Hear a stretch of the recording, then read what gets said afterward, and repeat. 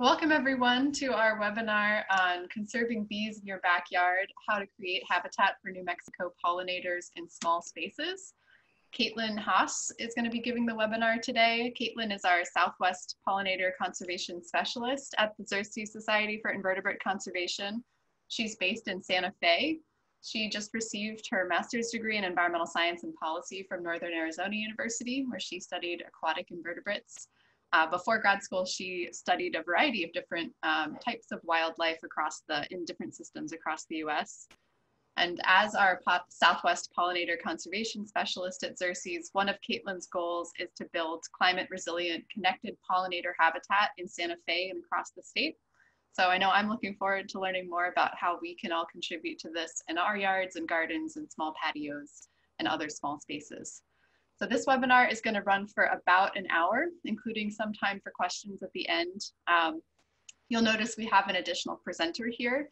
Stephanie is providing us with live captioning for this webinar. So if you'd like to turn on captions, you can head down to the bottom of your screen and click on the three dots that say more, and then you can click show subtitles. This is also where you would hide captions if you don't want to see them. Um, throughout the webinar, please feel free to submit questions and comments in the Q&A box at the bottom of your screen. The earlier you submit a question, the more likely it will be answered. Uh, I'm gonna be in there answering questions as we go along, um, and then we'll save some for Kaitlin at the end. Next Tuesday at the same time, I'm gonna give a webinar on attracting and supporting pollinators on farms. Um, so I'm gonna talk about what we've learned about how pollinators contribute to different crops and crop yields, and how habitat can be integrated into large gardens and farms and ranches. So that webinar is sort of more intended for farm audiences, but if you wanna learn more about crop pollination, please do join us for that. So with that, um, let's get started. Great, thank you for that introduction, Emily, and thank you to everyone who's tuning in today. Really excited to talk about this topic and how to help you create habitat for uh, pollinators in your small spaces, like your backyards, your gardens, your, even on your balconies and porches. So first, I'll be discussing the importance of how these small spaces in urban and suburban areas can connect pollinator habitat. What are the essential features of good pollinator habitat and how you can make your space more sustainable and attractive to bees, butterflies, and more. And like Emily said, when I'm going through the slides and you have any question about anything, feel free to type in uh, your question into the Q&A box at the bottom of the screen. So with that, I'll get started. And I wanted to quickly note um, what the Xerces Society does. In case you aren't familiar with us, you didn't see the first webinar in the series. We're an international nonprofit organization dedicated to the protection of invertebrates and their habitat. And invertebrates are animals without a backbone, so things like insects and snails. And they're an extremely large and diverse group of wildlife that are critical to the function of our planet.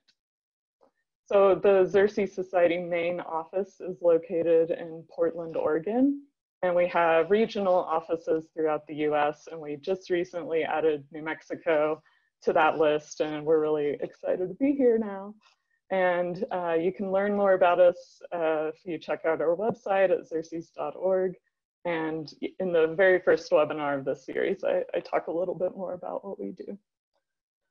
So let's talk about habitat conserving pollinators really starts with habitat and almost all types of habitat can make positive contributions to the abundance of pollinators. Undeveloped areas and open spaces are extremely important to maintaining really robust populations and a diversity of pollinators. But pollinator habitat can occur at all scales from an entire national forest to a small herb garden on your porch. So developed areas like city parks, roadsides, and anyone's backyard can provide habitat for pollinators based on three key elements. Those three elements are food in the form of usually flowers for nectar and pollen, but then also the plants themselves, um, for larval like caterpillars to eat that kind of food. Um, and then shelter, nesting, and overwintering sites.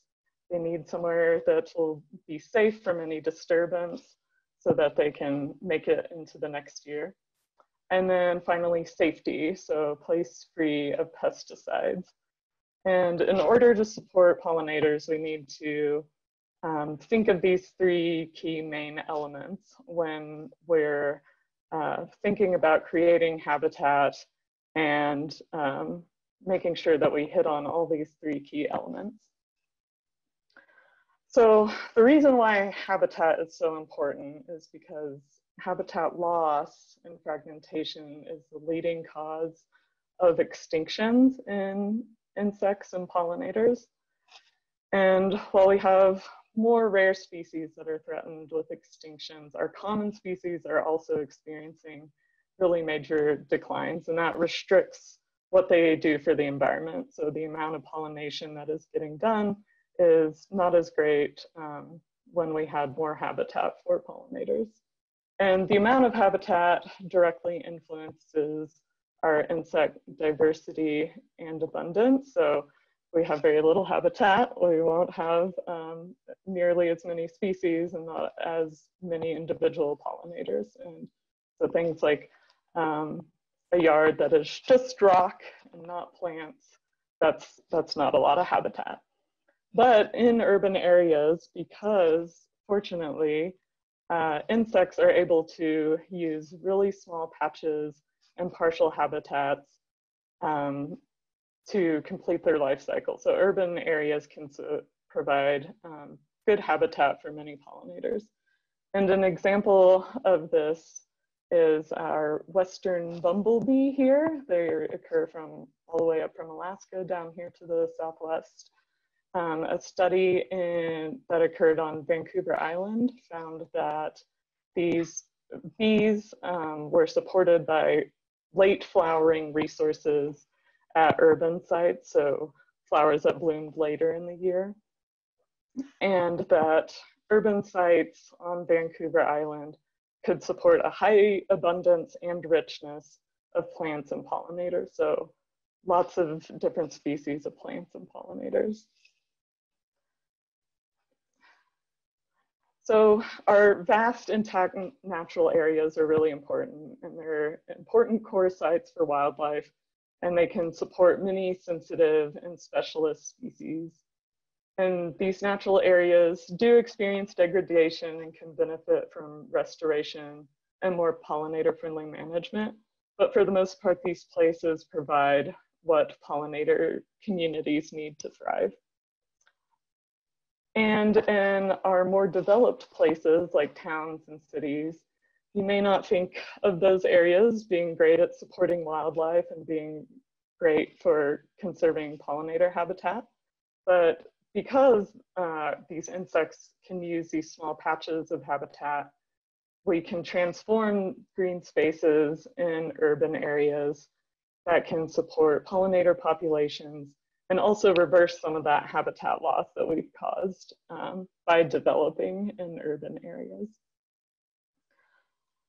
So when we're talking about habitat and how to improve it, we can think of it in a few different ways. So it can either be created, so from a place where it was completely removed, we can uh, tear up our rock lawn and turn it into a more garden that will actually be habitat. It can also be improved by enhancing plant diversity um, and abundance. So it might be okay habitat, but if you include more plants, maybe it can support more pollinators.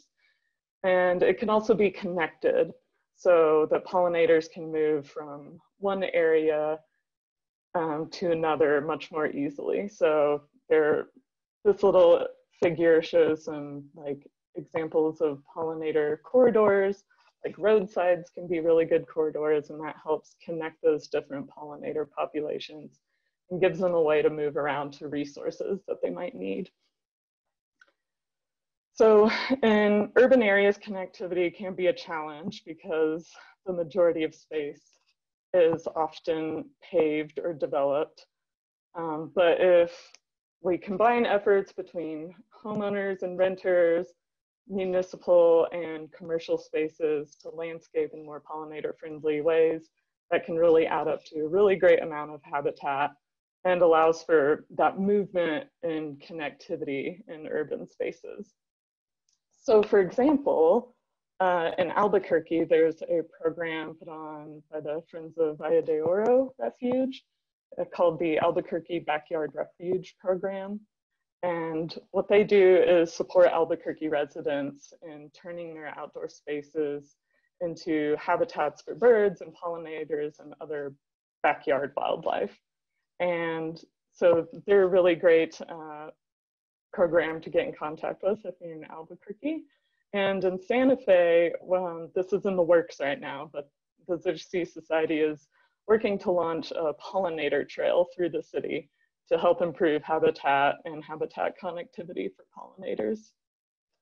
So let's talk about the first element of pollinator habitat, and that's forage. So the food that pollinators need, that includes um, nectar from flowers, pollen from flowers. Most adult pollinators, butterflies and bees and moths, are drinking nectar to sustain themselves, while bees are usually collecting pollen um, to feed their larvae as well. And then um, another aspect of forage and food are host plants for butterflies and moths. So we have um, butterflies and moths laying their eggs on plants that are uh, host plants for their caterpillars to eat. So when we're thinking about providing forage as floral resources, these flowers that provide nectar and pollen, um, we need to think about how they're flowering across seasons. So most bees, butterflies, and moths have very short adult lifespans. And that adult life stage is when they are visiting flowers and pollinating plants. And these different insects have very specific emergent times and flight periods. So you'll only see certain species usually um, at a certain time of year. But there are also things that are around all throughout the growing season. Social bees like bumblebees uh, will need a consistent source of food all throughout um, the growing season for um, their colony to grow. So if you have something blooming consistently across a growing season from like late winter all the way to late fall, you can support the most amount of uh, pollinators when you have the this continuous blooming from different kinds of plants throughout the year. So just to, show you a little example of this, um, you can see from this table of recommended pollinator plants that bloom times vary by species. So we have bloom season from spring through fall, and some things are very early in the year, some things are later, some things have very short bloom times, others have longer. So you want to keep this in mind when you're looking for plants and knowing that you'll have um, different plants that are uh, blooming across all times of year. So, um, and when we're looking at our different plants that we want to plant for pollinators, uh, we need, we really kind of recommend native plants for a few reasons. Uh, the first is that native pollinators co-evolved with our native plants. Um, many species are specialists and rely on a certain plant or even a certain pollinator to survive. And when a plant from a different part of the world is introduced, it's not hardwired into a pollinator's biology to use that plant species. So the native plants, they're um, much more, you know, they're evolved to pollinate those plants. And another reason is that our native species are adapted specifically to our local conditions because they evolved in the region. That means they are perfectly adapted to survive the harsh climate of the Southwest, the harsh soils, and um, these native plants are more likely to not require a lot of care. And another reason is that they can usually have fewer pest problems because they evolved with the same pest species that are native here. They have developed, evolved defenses to live alongside those pest species. So if you bring in, again, if you bring in something from a different part of the world, they may not be used to those kinds of pests that we have in the Southwest, and they may not do so well. So I mentioned earlier that having plants with blooms throughout the year is important, and a variety of native plants can provide blooms at different times of year. And here's just an example suite of plants you could find in the Santa Fe area that bloom from late winter to late fall. And you can find these outside the Santa Fe area and bloom times may be a little different depending on region, but in most of the Southwest, you can see things like um, this white prairie clover and Rocky Mountain penstemon blooming earlier in the year and um, other asters and other things are blooming later in the year. So that, that's always a fun thing to do when you're out uh, walking for a hike is seeing the transition of different blooms throughout the year. And so if you don't have, let's say you have plenty of early springtime flowers, but you didn't um, plant many fall blooming species um, earlier in the year, you'll probably not be able to support nearly as many bees that are emerging later in the year. So just keep in mind that's um, what we're aiming for when we're uh, trying to provide these blooms from late winter to late fall. Along with different bloom times, different shapes are also important. So different pollinators have different abilities to collect pollen and access nectar. So there are different bees. We'll have, we have short-tongued bees, we have long-tongued bees, and really small bees, and then giant bumblebees.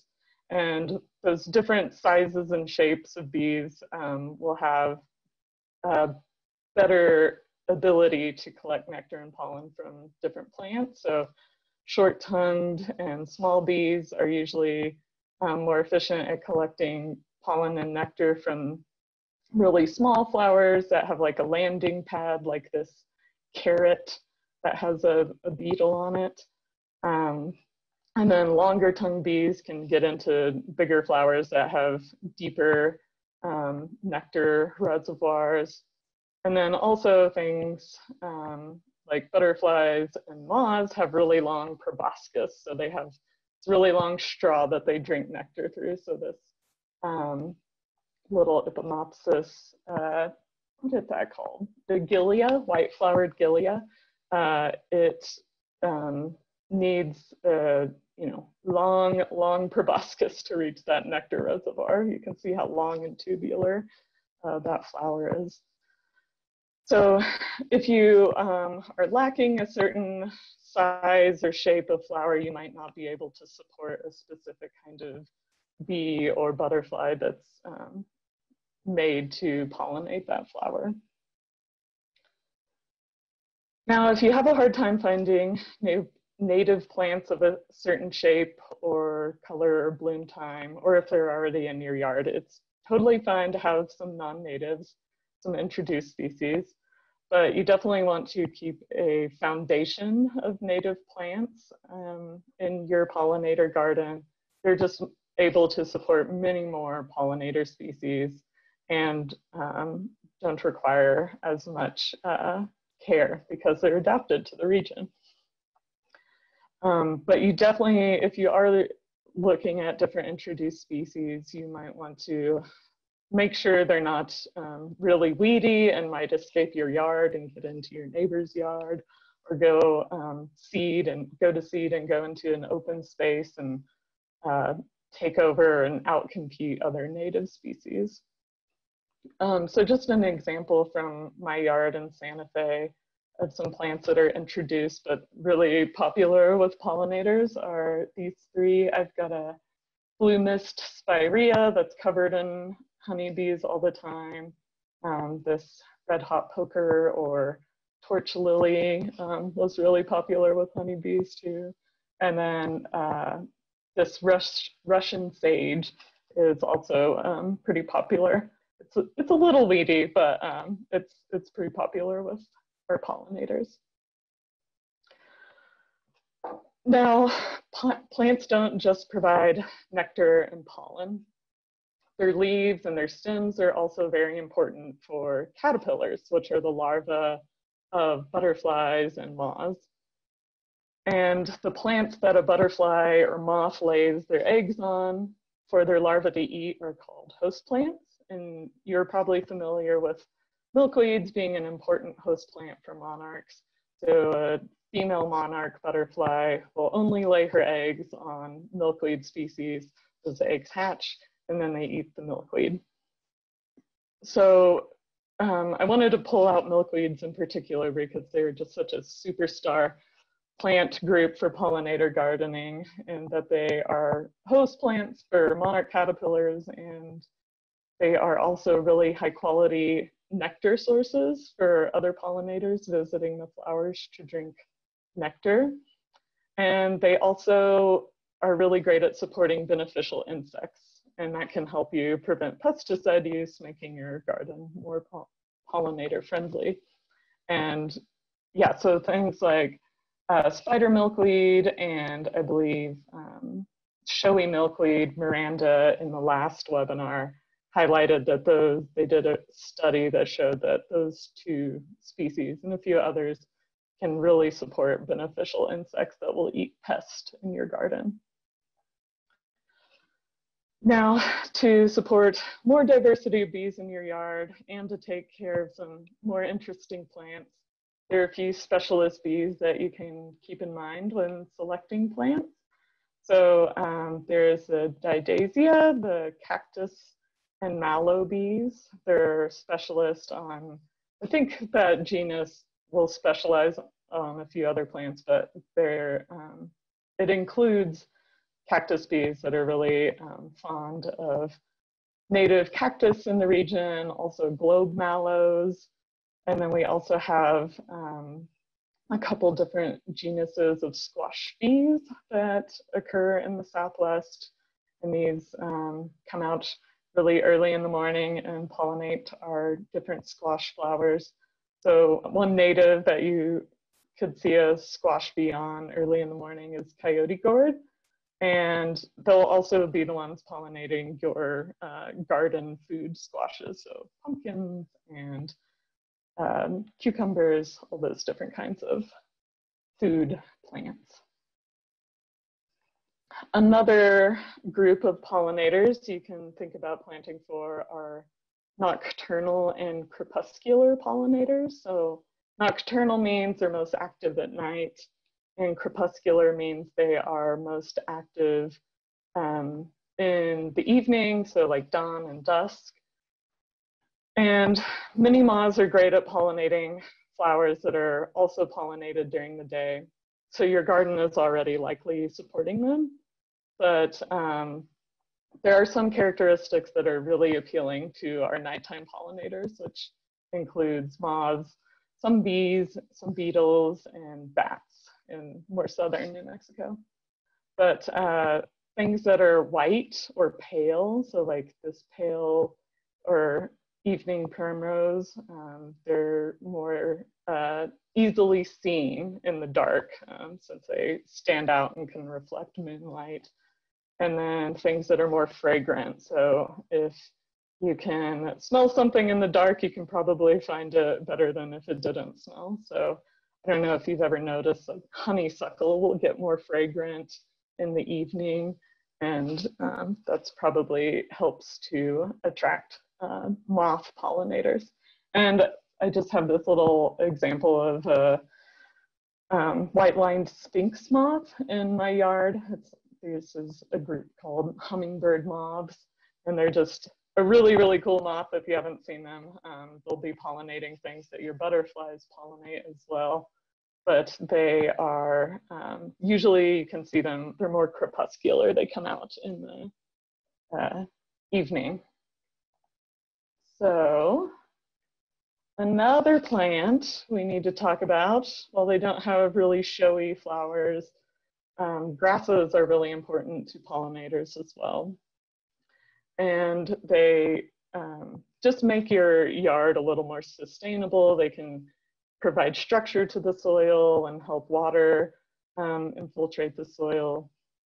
They are an important host plant and shelter for butterflies. Um, I saw that blue or ground grasses, the genus Bouteloua, um, it can support um, the most number of uh, butterfly species as a host plant compared to other genuses of plants. Um, that was from a talk that the butterfly guy, Steve Cary, did for the Taos um, Native Plant Society. So that's a pretty cool talk if you want to learn more about butterflies and their host plants.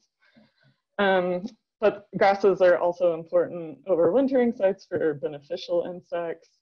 And there are a few different options that are nice and ornamental and will make your yard quite pretty. Um, I've got a list here.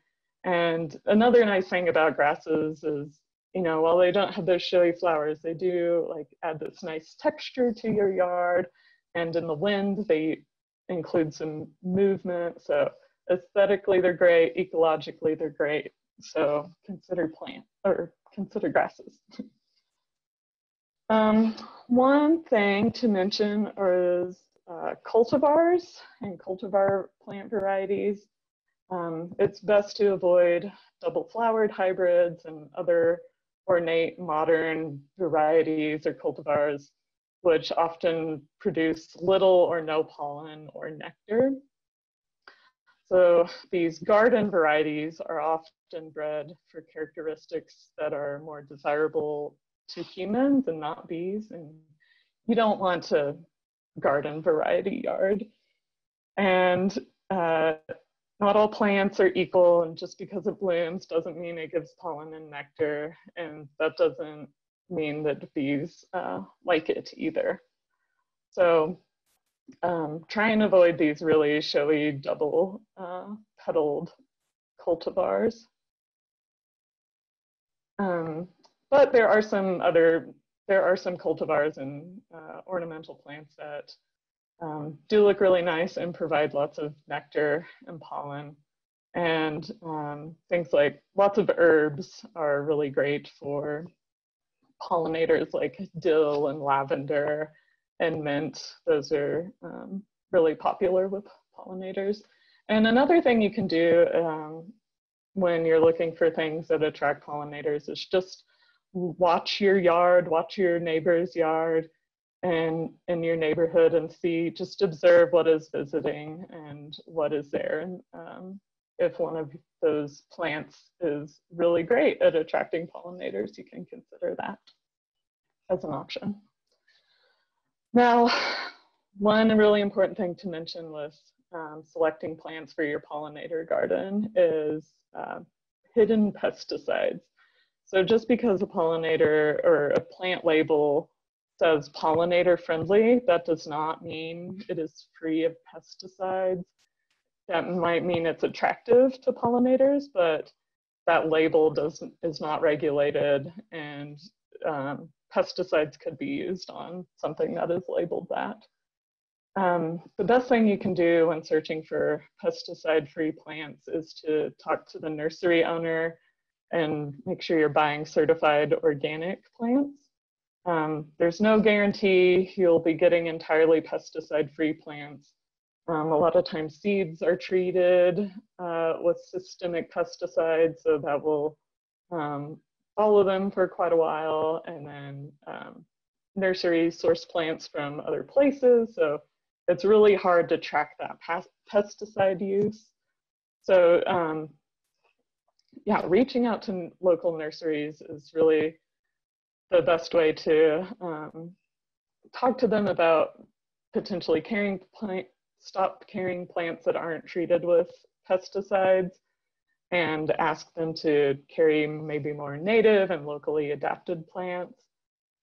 And um, if, it, if a nursery is willing to work with you to increase um, more pesticide-free native plants, let others know that's a good place where you can get um, good pollinator-friendly plant, plants. Um, so pressure from consumers has um, done some good things. It's um, made some big nurseries stop uh, carrying plants that have pesticides like neonicotinoids and big box stores like Lowe's and Home Depot are slowly phasing out plants um, treated with neonicotinoids, but other pesticides are being used as well. So just, it's just something to keep in mind. Um, one thing you can do uh, to make sure you're getting seeds that aren't treated is saving seeds from the own flowers in your yard um, and making sure that they weren't sprayed at any certain time. Um, so saving your own seeds, uh, there's a few different programs like the Santa Fe Seed Library that you can get um, seeds from that aren't treated. So uh, just something to keep in mind is um, finding plants that don't have pesticides. Um, one thing to mention about garden design is um, to plant in clumps. So bees like to visit flowers they're familiar with, and they only visit a few flowers on a single trip for when they're collecting pollen to take back to their nest. So planting flowers in clumps allows them to collect pollen from the same species in a single trip, and that helps make their trips more efficient and uh, looks nice too, I think. and another thing you consider for your, you can consider for your garden is some kind of signage. Uh, you can let your neighbors know by including signage. Uh, that's a great way to educate and engage others about urban pollinator habitat. Maybe you're concerned about your yard looking a little messy and you don't want people to judge, or you just want to spread the good news of pollinator habitat, a sign is a really good way to uh, do that. And these signs are available, um, these specific pollinator signs are available through the Xerces Society if you're interested in one of those. Um, another thing to consider about garden design is to think about the different sites in your yard and how um, you know your south facing side of your house is much more different than the north facing side and you can identify different microclimates or areas that are especially hot and dry or cool and wet and um, consider what plants you want to use there. Figure out what will thrive in this more moist area versus this hotter drier area what can thrive in the shade. And also think about um, water use and how um, runoff from your roof or maybe collecting water can help you um, plan your garden a little better. So, okay. And the next thing you can do is um, consider climate resilient options. So we're facing climate change in the Southwest. It's, we're probably going to have more severe droughts and selecting hardy native species that are already able to withstand severe droughts um, will ensure that you have a um, resilient pollinator garden. And if you want to find things with um, drought tolerance and temperature tolerance, a lot of native plants already have that, have those traits built in. Um, you can, obviously you don't want to pick a bunch of plants from a really higher elevation from where you're at, but um, yeah, make sure you're selecting species appropriate to your exact location and site conditions. Um, I also wanted to point out some work that the Nature Conservancy is doing in Albuquerque. Um, they have a really great uh, plant ready tree list with, or climate, climate ready tree list. And it uh, gives examples of different trees that do really well in um, different areas and what is likely to survive increasing temperatures in the Southwest. So look into uh, the Nature Conservancy and then also the water Albuquerque Water Authority. Um, they have rebates for buying trees and yeah, lots of really great um, help there for Albuquerque residents. Um, another thing you can do um, for your garden design is just provide a source of water. We are in a very water limited area and um, honeybees need water to keep their colonies cool. And um, another thing to consider about water is to do really deep irrigation um, that will allow a lot of your a lot of your plants to um, produce more nectar and um, provide a source of moisture for uh, like migrating butterflies will um, sip from water that on the ground or plant dew. Um, another thing is windbreaks, and these can provide shelter and um, allow for more easy access and pollinating for flowers in a really windy area. So um, just a few examples of uh, wind protection trees. There's New Mexico privet, junipers, um, four-leaf sagebrush. Uh, these are good um, plants to consider for wind breaks. Now, the next thing we need to consider is shelter. And we'll discuss how um, the shelter is used for nesting and overwintering sites, how you can identify um, where those places are in your yard. So things like stems and leaf litter, uh, brush piles, rock piles, snags and stumps. Those are all good places that provide shelter for egg laying and overwintering. And the most important thing for shelter is to protect um, areas that you already have instead of trying to make new nesting areas. Um, so less is more for shelter management. And while there may not be clear signs of pollinators nesting in your yard, they probably are utilizing it and may just can't be seen. So one thing you can do to um, improve shelter is just saying no to lawns and rocks. Um, lawns really provide very little in the way of habitat and they use a lot of water. Um, they don't really provide much shelter or nesting habitat. And the same with rocks. I mean, they obviously don't use a lot of water, but um, they don't provide um, much shelter or floral, obviously no floral resources for pollinators. And if you can't say no to your lawn, um, just consider maybe allowing some weeds to um, take over it. I mean, not take over, but like let clover uh, bloom in your lawn or try and uh, mow in uh, longer intervals, like let some things go to um, flower if you can. Now, we uh, talked about this in the very first um, webinar with Olivia, but there are a few different kinds of bees. You can um, group them by how they nest and our ground nesting bees are ones that will need some bare ground to nest in. There are tunnel nesting or cavity nesting bees. And there are also the bumblebees, which um, are also cavity nesters and require a little bit bigger uh, shelter for nesting. So how do you recognize a bee ground nest? So they're usually just tiny little holes in the ground. And one approach is to search several times during the season as different species become active at different times through the season.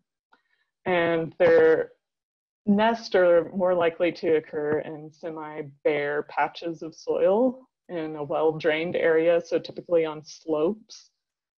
And to find ground nesting bees, pay attention to bees flying low over the ground where bees usually aren't pleasant, so like not a lot of um, flowers or something. So um, if you have these spaces in your yard, then you probably have a good uh, nesting area for bees. And one thing you can do to help promote that ground nesting is by leaving areas of undisturbed patches of bare soil.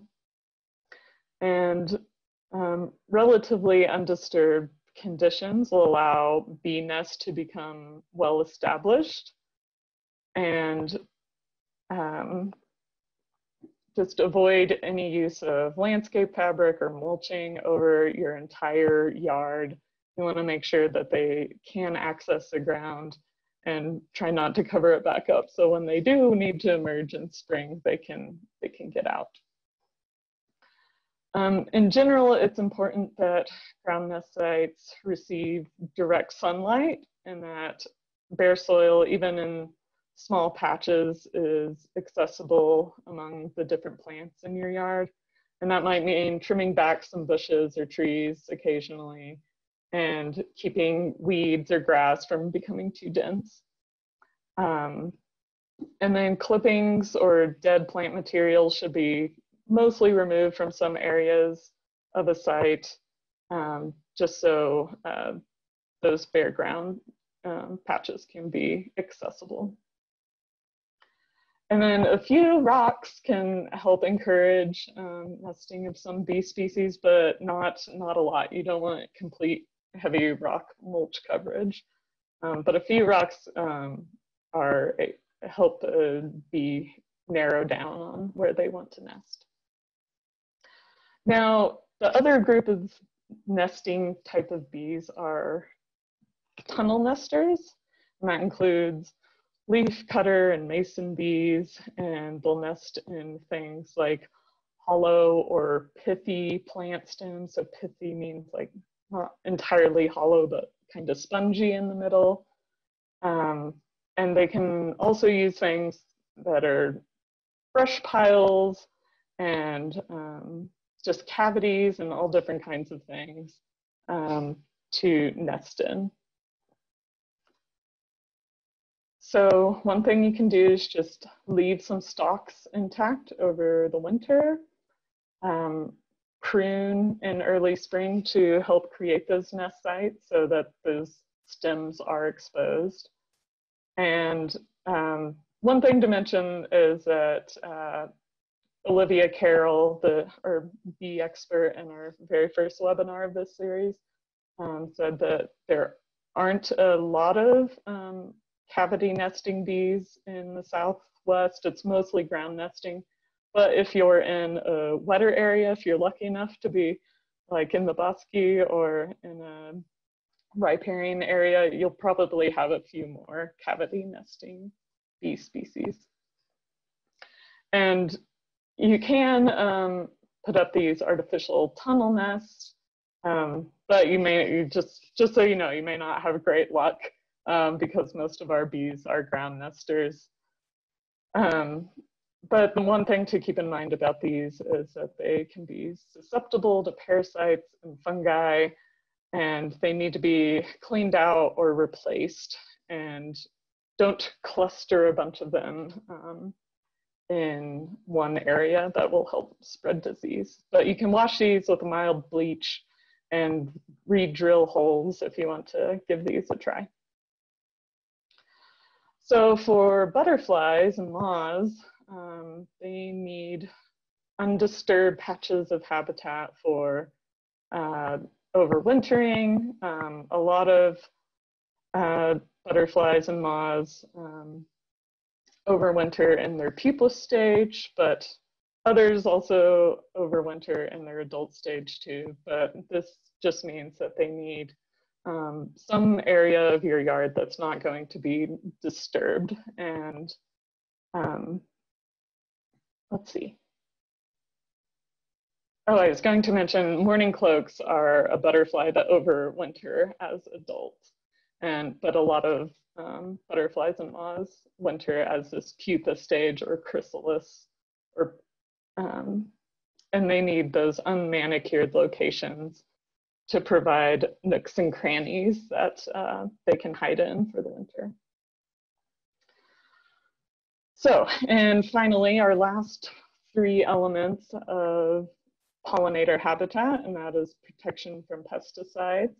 So if you have an area free of pesticides, you're definitely more likely to support more pollinators. And the reason we use pesticides is to manage disease and other pests.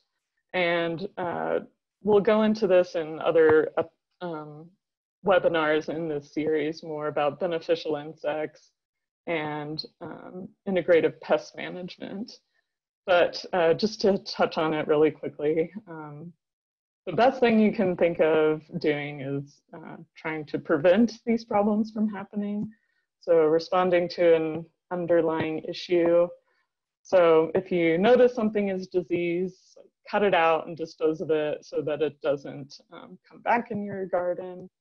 Um, for example, powdery mildew, I have it on my roses. um, it affects many garden plants such as squash and grapes, and it's likely to come back if you treat it with a pesticide. So one thing you can do instead is to remove the conditions that allow that powdery mildew to survive. And some of those causes might be overwatering or insufficient airflow or over fertilization. So knowing how to prevent these pests is um, really the best way to address them.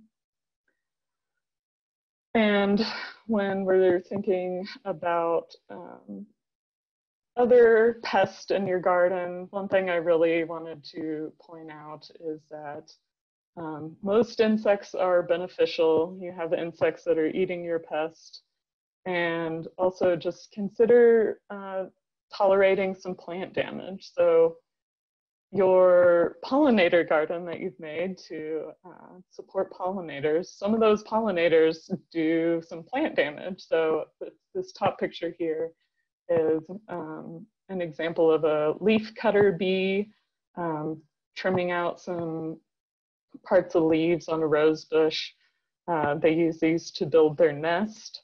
So if you're trying to support bees, they might be uh, cutting some holes in some leaves, and uh, that's that's tolerable. And then, oops, um, another example here. This is a little uh, cabbage white butterfly caterpillar. Um, they're uh, tiny little caterpillars, and they'll do some damage to leaves, but uh, their adult form is a nice um, pollinating butterfly that you probably want in your garden.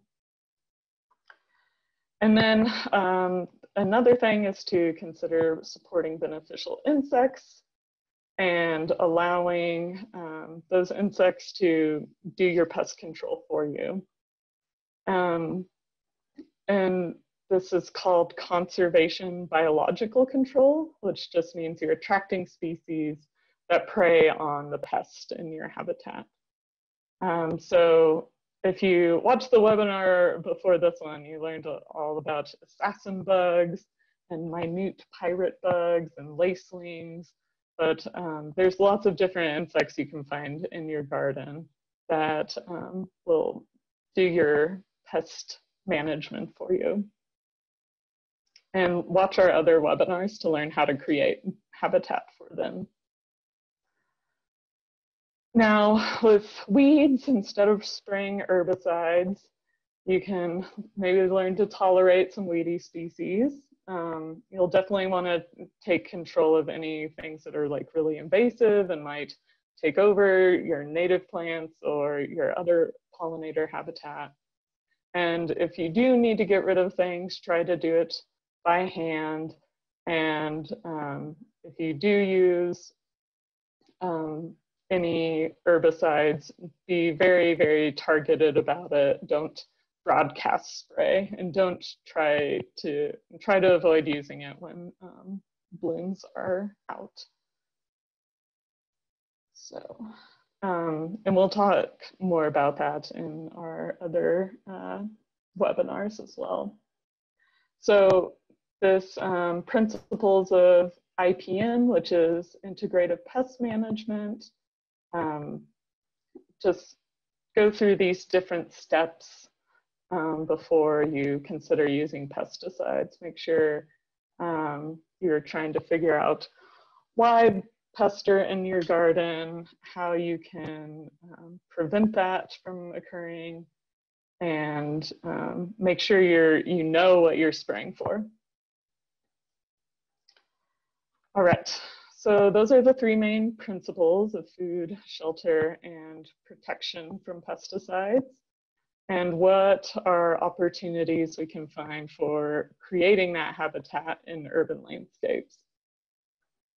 The opportunities um, are large and small, and no matter what scale you're working at, the principles are the same. So we can think of about habitat at a few different scales. Um, the scale I'm working at in this webinar is really the neighborhood scale. So just making sure you provide those really basic needs of uh, food, shelter, and safety in your small um, area you're working with. So where can you create habitat? The answer is everywhere. Um, but if you're working at a bigger scale, like if you're doing um, uh, citywide um, habitat management, you want to think about things like how far can a bee fly and where can we put pollinator or habitat cor corridors that um, can really benefit and connect existing habitat on the landscape. But for our purposes, we're talking really at finer scale. So where can we provide just those basic elements of a pollinator habitat? And that includes all kinds of things like backyards, urban farms, community gardens, roadsides, golf courses, um, commercial property landscaping, parks are a great place, schools, that's an educational opportunity. And then even just little planters on your porch, they can provide um, flower, pollen, nectar resources for different pollinators. And when we support pollinators, um, that helps many other non-pollinator species by providing a safe place to live. And native habitat in urban settings provides really welcome areas for a wide range of local species. In particular, birds like to forage on seeds of native plants and they'll be eating your caterpillar um, of your butterflies and such. And shrub and tree plantings also provide areas for them to perch and nest. So um, supporting these different ecosystems, if you're supporting your pollinators, you're also supporting um, the base of the food chain for many, many more species. For example, uh, Carolina chickadee here must gather 10,000 caterpillars in a period of about three weeks to successfully raise their chicks. So our uh, pollinator gardens giving um, a place to live for caterpillars, feeding, feeding everyone else too. And installing pollinator habitat and landscaping with native plants also benefits our water quality. So often native plants really don't even need watering after they become established because they are adapted to our climate and landscape. And they're more resistant to pest pressures. So growing pollinator habitat without pesticides also reduces the runoff of pesticides into our stormwater systems and ultimately into our rivers and streams. So uh, lots of ripple effects for just creating some pollinator habitat in your yard. Now, lots and lots of information from many different people doing really great things um, to help us with gardening and native plants. We have um, New Mexico State University Extension. You can call their offices. They have county agents, lots of resources online. They um, implement the Master Gardener programs, the Master Gardeners in Santa Fe and Albuquerque and probably other places um, have really great websites and lots of information on gardening in New Mexico. Um, there's this one specific uh, document I wanted to point out. It's um, by the NRCS Plant Materials Program, and it's a pollinator plant recommendation list for New Mexico that has a lot of really great pollinator plants to look at. You Google that. Um, and then there's the Albuquerque Backyard Refuge program. I mentioned them earlier. They're helping build um, pollinator habitat in Albuquerque, but um, also any backyard wildlife habitat, really. And we have the New Mexico Native Plant Society. They have really great publications and recordings on YouTube you can watch. Those are really nice to watch. Um, and then the Ber Albuquerque Bernalillo County Water Utility Authority have um, some resources on xeriscaping, and they have these great rebate programs for helping you afford trees um, to place in your gardens and yards. And also, if you want to remove lawns, they do a rebate program to help you um, turn your lawn into a more xeriscaped uh, plant family or plant uh, region. And there are many others. I'm probably forgetting some, but um, you can find a lot of them if you follow links in these different websites. Um, and to uh, highlight some Xerces information, we have um, a few different programs and information online about pesticides and how to support pollinators in your yards. We have several books that are really helpful um, for learning uh, how to feed bees, how to, what uh, pollinators are and where they come from, how you can support them, and lots of different brochures and reports. It's just, it's a lot. Um, so uh, one thing I wanted to point out is that we do have one document specific to the Southwest, and that is a monarch nectar plant list. So if you're wanting to provide nectar plants for monarchs, this has everything in it and be on the lookout for new documents specific to the Southwest. Um, we have plant list in the works and well, since, since I'm here now, we now have presence in New Mexico. We'll be working on Southwest uh, specific uh, documents and publications. So finally, I wanted to quickly thank New Mexico State University for um, the grant they're using to support this webinar series. The Carroll Petrie Foundation is helping fund the work that Xerces Society does in the Southwest. And then finally, um, the Xerces Society um, members that really help make artwork possible. Now, questions. Thanks so much, Kaitlin. And I know we only have probably a few minutes here for questions. Um, I just wanted to summarize some of the things that I saw quite a few questions about. Um, a lot of you asked where you could get a copy of the list of pollinator plants with the phenology that um, you posted in your slides. Um, that is a USDA NRCS guide. That's the pollinator plants of New Mexico. So it is posted in the Q&A under um, quite a few people's questions if you look for the link down there. Um, we also got quite a few questions about how to access the earlier webinars in the series. Those we are working to get up on YouTube as soon as possible after we correct the captions. And we'll email those links out to everyone who's participated in the series once those are available. Um, so stay tuned for that.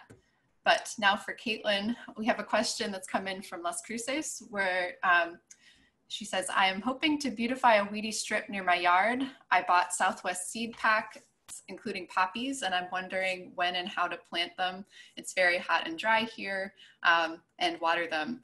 Would rather have drought tolerant species. So do you know about when to when to plant down there? Um, yeah, since I'm up here, most of my research, since I'm up in Santa Fe, most of my research on when to plant has been for these higher uh, altitudes. And um, but my understanding is most of those um, more native seed mixes you can sow like late in the fall, and then they'll go through their stratification and um, everything necessary to make them um, germinate in the spring. So I would probably look in, at late fall, but you can also contact your um, local extension agent to potentially get a better um, exact answer on that. Right, and germination is going to vary from year to year depending on how much precipitation you get. Sometimes some of our plants in the Southwest take a very long time to germinate depending on how much rain they've received. Um, I'm seeing a question about would red hot poker dried stems trimmed in the spring provide tunnel nesting locations? I'm not familiar with that plant. So that was the um, the lily tort or torch lily. Um, it's okay. a yeah yeah it's um I can I would imagine so. Um, I I've never actually looked like inside the stem of one of those, but I assume since it's um, not extremely woody that it would um, provide a good nice hollow place for uh, a cavity nester. Great. Um, I just learned today that Monarda fistulosa, which is the species name for bee balm, is named fistulosa because it's full of holes. And it, if you've ever trimmed down a bee balm stem, it has a it has the pithy stem that bees will burrow their way into. So I just learned that that's what the species name meant. Oh, that's cool. Yeah, so you're getting a lot of thank yous, and I I'll echo oh, them. Thank, you, thank you so much for covering all that info in that short amount of time. So yes next week, we're going to talk about crop pollinators and pollination um, and how to integrate habitat on farms and ranches. So if you're interested in that, please tune in and check out what's available for the rest of the series. I also wanted to mention in two weeks time, we're gonna cover integrated pest and pollinator management, which is gonna go into a lot more detail on pesticide impacts on pollinators, um, including organic pesticides. So if you're curious about that, register for that webinar. So thanks a lot. We'll see yeah. you next time. Thank you.